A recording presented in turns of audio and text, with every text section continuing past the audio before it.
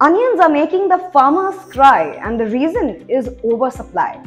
According to experts, onion prices will remain low until mid March when the new winter crop is expected to arrive in the market.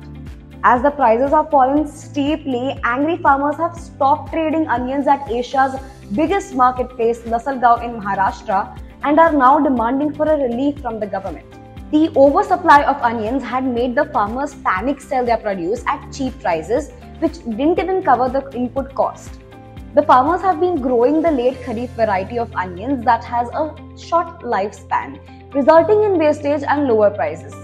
Adding to the problem the rising temperature in Feb. This year, India recorded its hottest February since 1901. The experts recommend that the government should intervene by offering subsidies and direct cash to affected farmers and should also consider reducing transport costs by 50% and exports to nation where onion prices are currently higher.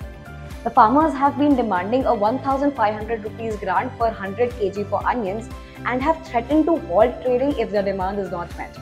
The current situation has caused significant losses for the farmers and crucial steps need to be taken to stabilize the market. Well, that's it from my end and for more updates, stay tuned to Knowello.